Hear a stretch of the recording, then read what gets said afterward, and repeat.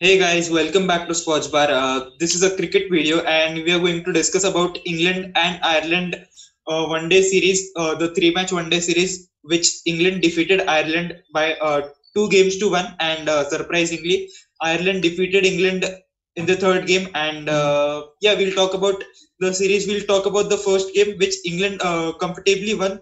They only had to score a small total of 174, so not much of a problem for England. But in the second ODI, uh, we could see that Ireland showed some resistance.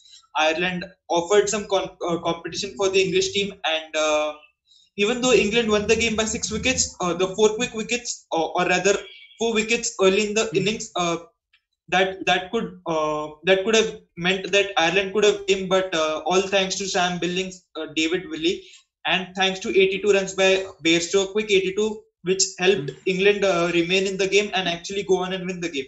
So that's what happened in the first series. What do you think of the first two series? Uh, I think so. The in the first game also, if, if you talk, it was not a comfortable victory because uh, England were reduced to 94 4, and after that, you know, Sam Billings, you know, just stayed on the crease. Uh, he just played his shot, and Eoin Morgan also he was uh, little bit supporting. And again, if we look at that, you know, target was simple 174 and 94 4. If you're 94 4 and chasing 174, again, that's not a big trouble, but still they were still reduced to 94-4 and again uh, the Ireland you know uh, we had to give praise where it's due because Ireland bowlers you know even they were uh, defending those 170 and 200 runs you know there's uh, even below average score but still they were you know batting hard fighting hard to gain you know and in the second test match in the second ODI again uh, they came very close बहुत ज़्यादा करीब आए 137 for six था एक time पे but after that again Sam Billings you know played his innings and he took David Willey under his wings so again uh, Sam Billings you know uh, he's turning one of the one of the you know, good players is even of one you know, player you know मतलब अच्छा खेलता है वो अच्छा खेलता है player but you know the team is so good कि he doesn't get any chance to play So again, yeah, he's like Michael Hussey. He's like Michael Hussey of 2002 and three. You know, he was a great prospect for Australia, but couldn't play for Australia till 2005 because uh, Australia already had those great players. So I believe Sam Billings is again one of those players who does not uh, fit into the team because he's unfortunate, not because mm. he hmm. has a problem or he's a bad player, but because he's unfortunate.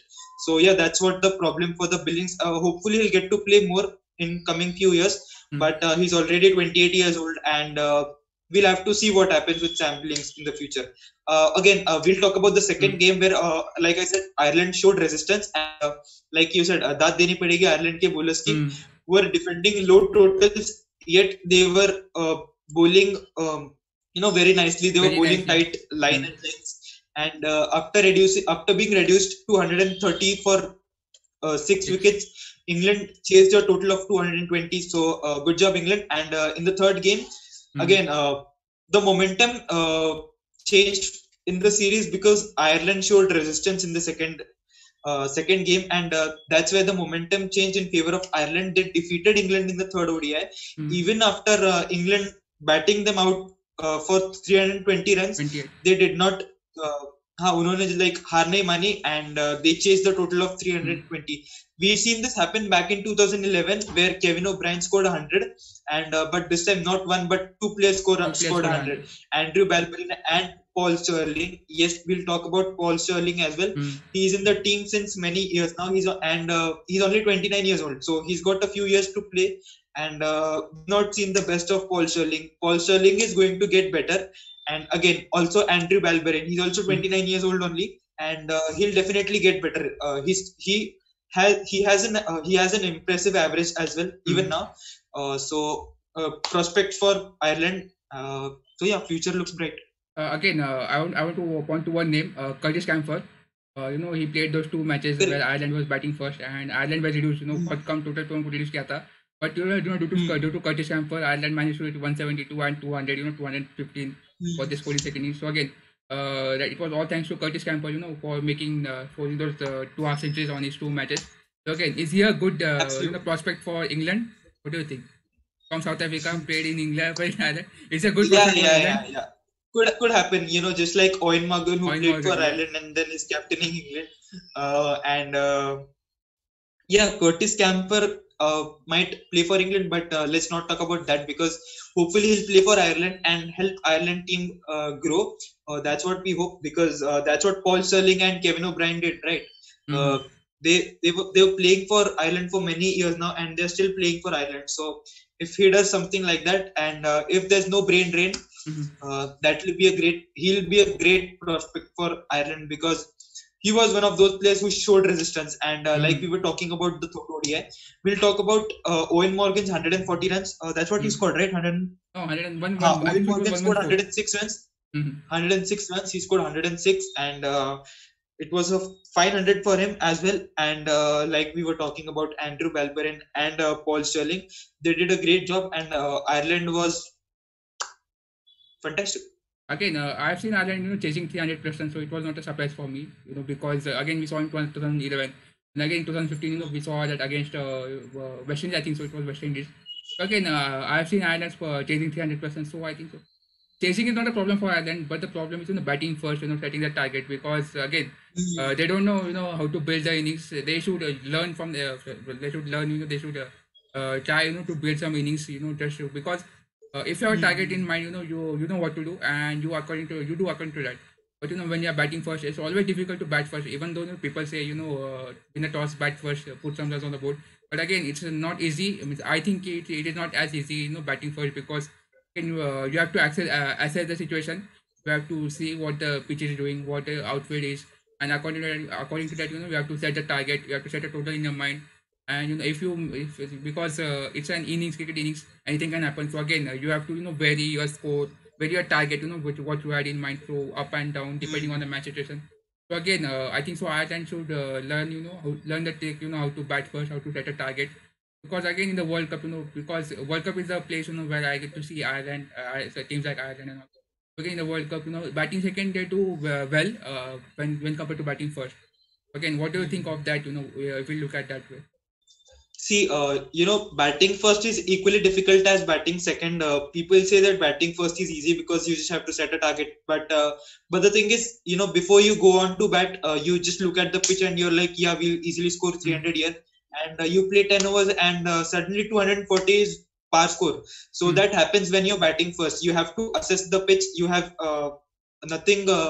You have no target in front of you. You have to set your target and you Hmm. have to score runs. And if you do not score runs, you're still in the game but uh, but but that that is a different kind of nervousness because uh, in your mind you know you you were 10 or Mm. 20 runs behind so that can haunt you while bowling in the second innings uh, you know you, you remember the game right australia scored 430 and uh, south africa chased Case 430 434. so Exactly. Uh, even though that was a batting pitch after the first innings when uh, South Africa uh, were going on to bat in the second innings, Jacques Kallis, uh, Jacques Kallis joked that uh, the Australians are 10 or 20 runs behind.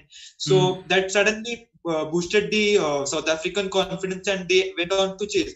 Mm. So when something like that happens in the dressing room, you cannot, like, any total, koi bhi total uh, bada nahi hota. So, so that's what that's what I guess Ireland must be Hmm. thinking after the first innings. They must they must be very confident, uh, confident, and uh, that helped them chase uh, those big totals number of times. Uh, I want to go on to a different topic. Uh, I saw Tom Bunting in the lineup. You know, he played all the three games.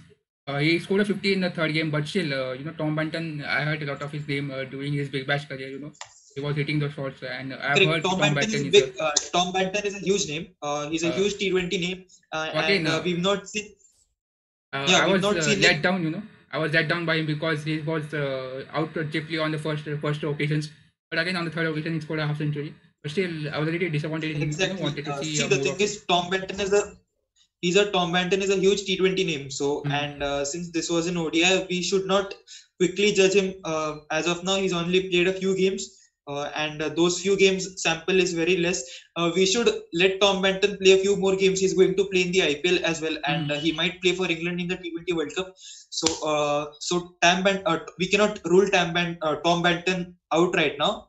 Uh, he can do well, and uh, hopefully he will do well. Uh, again, uh, you talked about you know Paul Stirling and Andrew Bankward, and you know already 29 years old, and they can be a lot of asset to an Ireland team. Uh, so you Hmm. know you know ODI Super, ODI Super Series is coming. Uh, so again, Ireland will get to play against you know big boys like Australia, Pakistan, and uh, Sri Lanka, West Indies, New Zealand. So again, is that uh, you know uh, they can build on this? So again, uh, it's a it's a huge boost you know to win an ODI series two one in uh, two one in England. So again, what do you mean think? Means uh, is Ireland on the right track because uh, because you know for previously Ireland had to qualify for you know they had to play lots of qualifiers you know to qualify for World Cup. Now if they do well in this ODI Super League uh, and only I think so there are eight series uh, and uh, four home series and four away series. So again, uh, it's a huge boost. You know, you play four home series against you know teams, and maybe if you win five, four out of four, you know, out of eight, you know, you win five and six, and you are in contention for World Cup. So again, you know, if you're looking in that way, uh, what do you think? Are Ireland on a good track? Uh, what do you think? Ireland are yeah, Ireland are definitely on the good track. See, I've always believed Afghanistan and Ireland are the best associate teams, and uh, that's what happened. They uh, they got the test status before any other team, Mm. and uh, other than Ireland and Afghanistan, I believe Netherlands are the are one of the best associate teams. But we'll talk about those teams later. Mhm. We'll talk about Ireland, like you said, uh, four home series and four away series. Mm. And uh, Ireland should definitely make use of this to win at least home games and uh, one or two games here and there, just like they won here in England. And if they can do that, they, they might definitely they might definitely be in the World Cup. So yeah, we cannot rule Ireland out because Ireland are really doing well. And Mm. uh, yeah, and I'll definitely I definitely believe that they'll play uh, teams like Sri Lanka, Bangladesh, uh, West Yes, Indies, yeah. and uh, so they have a chance to win the series as well. Mm. So so taking these factors into consideration, yes, Ireland is on the right track, and uh, yeah, the future for Ireland looks bright. So we'll come up, come to England now. Uh, England played a rotated side. You know, they did not had uh, uh, some players you know who test series. Again, they did not have Ben Stokes. They did not have Joe Root. Uh, no Jos Buttler. So again, uh, so it was a you know uh, some uh, it was a kind of audition for you know new players to come and uh, settle and make their name. So who do you think has made a name for himself in this series? I think so. One I think uh, one example of David Willey, who you know played very well, bowled very well, took five wickets in the first innings, and again he was economical in in the both in the both test both again ODI series. So again, David Willey has you know showed shown me that yeah he can play for England. So other than him, you know, or including him, who do you think are players you know who had shown you that they can play for England? See, David Willey has always been a, a huge name for the English team, even though he's not been able to play so many games. Uh, he has been a huge name, and uh, just like uh, Sam Billings, like I said, Mhm. Sam Billings is just unfortunate to be uh, to be playing in the same era as Ben Stokes, Jos Buttler, uh, Bairstow, and uh, and these guys, and Morgan as well. So uh, so so Sam Billings is a huge name well. Billy is a huge name, like you said. Tom Banton in, Mm. in the ODI team uh, might not be possible very soon, but he'll definitely come because he's only 22 years old. He's 21 or 22 years old. Mm. So uh, we so we might see Tom Banton in the England, England team after a few years, if not now. But uh, he's definitely made a name for himself in the T20 format for England.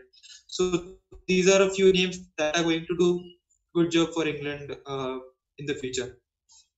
And it's not like it was an entirely new team. Mm. Uh, so many players who played for England earlier were still there in the team, uh, and uh, we all know they were they had to play two games, uh, one against Ireland, and the next day they had to play against Pakistan. So Mm. not the so the first team was not available, but uh, this team was as good as the first team because Mm. they still had a few big names. Uh, so again, you told you know they had to play a test match against uh, Pakistan. So we'll come up to that now. Uh, we will leave that uh, England Ireland series right now for our side. We'll come up to England Pakistan series. Uh, again, it's a one test championship series. Uh, Pakistan, you know, just played three test match. They lost, you know, they, they drew one one to Sri Lanka. Again, they lost Mhm. points over there. Uh, so what do you think? It's an important series for Pakistan, you know, to uh, to you know cement their container containership for top top two because you know if we when we made our videos, you know, on this on the test championship, we talked about uh, New Zealand, England, Australia, and India. We we had never men- we had not mentioned Pakistan at all in the top two series.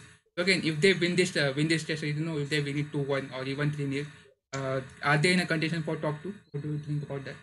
Uh, see, I don't, uh, I don't think Pakistan might make it into top two because uh, they did not win so many test matches. You know, uh, Pakistan, if they want to uh, be in the top two, they should have won uh, many matches uh, before because that series loss in Australia Mm. that cost them a lot, and uh, I don't think Pakistan will win this uh, series in England by three uh, three games to nil because that is going to be very difficult. And uh, this series for England is uh, very important as well because if England lose points here, uh, that would hamper their chances to be in the final of the World Test Championship.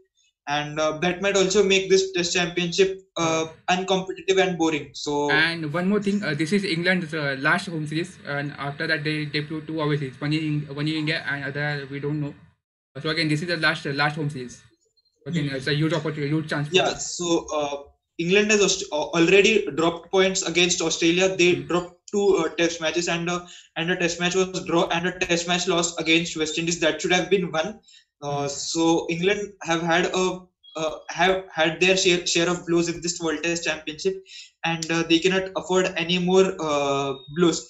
And this is why they are playing their best players in the in the Test series. They are playing Broad, Anderson, and uh, Jofra Archer in their bowling lineup. So England are not taking any their any chances. They are playing their uh, best teams, and uh, that is going to make things difficult for Pakistan. And uh, and uh, due to these things, Pakistan might not be able to qualify for the first two. But uh, but hopefully, if Pakistan does well, if Pakistan you know if they uh, go on to win two test matches instead of three Hmm. uh, that that might be a huge thing for pakistan as well because they have done well in the past test series So again, we have talked we have talked about you know key players for England. We all know who the key players for England are. I want to hear about Pakistan. You know because I think you know uh, uh, Mohammad Rizwan, you know on that uh, swinging surface, you know bowling at 140 uh, 140 k's is gonna be one of the key players. You know and uh, Shaheen Shah Afridi is also playing. So again, he's gonna be a huge one. Uh, in batting, you know, I see uh, Babar Azam. You know, we have Shan all talked about Babar Azam. Shan Babar. Masood and Babar Azam. Uh, I, uh, Shan Masood is just a young player, so I will just fo- that for right now I'll focus on Babar Azam, you know, because uh, we have also talked about you know Babar Azam, including him in the Fab Four with Virat Kohli and Steve Smith and Kane Williamson. So again, uh, Babar Azam is gonna be a key player. Uh, and we have, you know, uh, currently when we are filming this, day two is going on right now, and I saw Babar Azam got out, getting out on 69, 67, I think so. So again, uh, I think so. Babar Azam is gonna be a huge key player. Uh, so other, other than that, who do you think you know who, who will be you know who will be instrumental, instrumental for Pakistan? See, I'll talk about a few players. I'll talk about Babar Azam as well. And, uh, Mhm. you know, Nasir Hussain mentioned that if Babar Azam was Virat Kohli, a lot of people would be talking about him. But uh, since he's Babar Azam, not many Mhm. people are talking about him. And I, I really agree to what he said because Babar Azam is a great, great prospect. And uh, Mm. he's going to make a huge name for himself uh, in the Pakistan team because he's been doing well consistently. He's been doing well since the 2017 series against the West Indies, where he scored three centuries in three games. So he's been consistent since then, a- a- and uh, with lot lot of consistency brings a lot of responsibility, Mm. and uh, that responsibility might motivate him to do well, and uh, that's what he's doing. And uh, since he's doing well, he's a huge name for Pakistan team, and uh, he's one of the key players. But also, we saw him getting out. Uh, Mm. You know, the ball was bowled at. It was an outswinger Mm. at uh, fourth or fifth stump, and uh, Babar Azam tried to drive. So, uh, so he got intimidated. Intimidated. That's what I feel because he's a great uh, driver of the ball. He plays a great cover drive. So, thi- so those balls should not intimidate him, and uh, Uh, that's where he got out. uh, He was just- caught at just, slips. So, Just one thing, you know, we all talked about you know Babar Azam getting caught on slip. Uh, just remember, you know, Virat Kohli in 2014. You know how many times he got yeah, caught. uh, that yeah, I'm coming and to that. I'm coming to that. Exactly. Uh, that reminded me of Virat Kohli, but uh, Babar Azam is not Virat Kohli. They are two very different uh, personalities, and uh, Babar Azam has a chance to make a huge name for himself. He's done well in this series. He scored a 69, and uh, as far as Shan Masood is concerned, he, uh, right now he was batting at 88. Uh, I just checked the score right now. So he's a huge name as well because uh, he's not played much games and he's already doing well in England. Mm. And uh, 88 is not a small uh, small total. Uh, so yeah, he's a huge name for Pakistan team.